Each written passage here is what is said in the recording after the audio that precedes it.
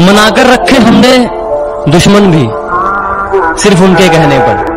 किसी को भूलकर भी नाराज़ नहीं किया।